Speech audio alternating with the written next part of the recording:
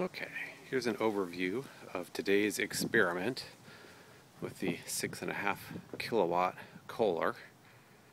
It is 120 volt only, two wire, so this uh, transformer is a 2 kVA transformer, but it's connected as an auto transformer, so its capacity is 4 kVA, stepping up to 240 volts. Then we've got uh, plugged into this big cable here. Follow this cable around.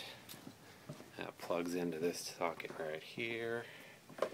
Follow those wires and we go up to the leads to the breaker that feeds the air conditioning condensing unit. That breaker is off. The thermostat is on and is calling for cool but the FA unit, FAU is also off, so the contactor on the air conditioning unit is open.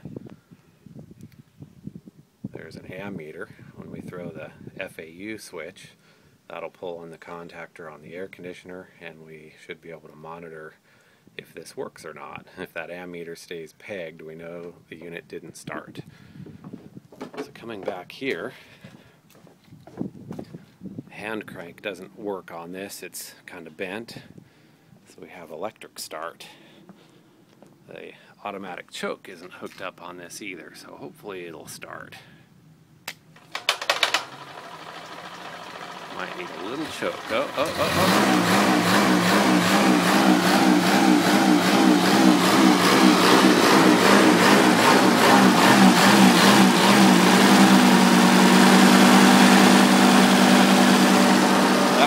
Cold start. We'll let that warm up a little bit before we throw the switch. Then we'll come back to it. Now we'll keep this rolling. Oil pressure always comes up. Good.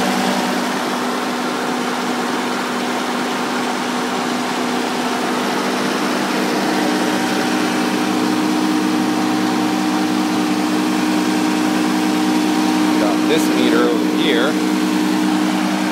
monitor voltage.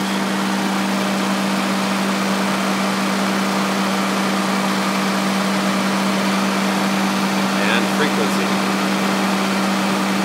Not bad for no load.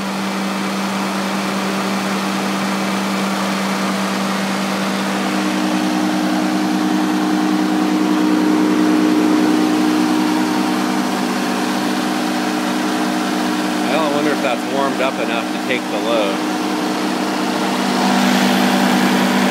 that governor hunting is gone. That's better.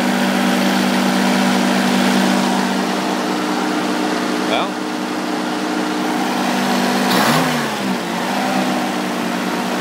See what happens. You're witnessing this experiment as it unfolds. I have not tried this yet. Here we go. Watch the ammeter there. Nope. That is not going to work. Well, that's too bad. That would have been cool. But that is a mighty big motor for that generator. Huh, bummer. I had hoped to use this generator in addition to an emergency generator as a load shedding generator. Nope.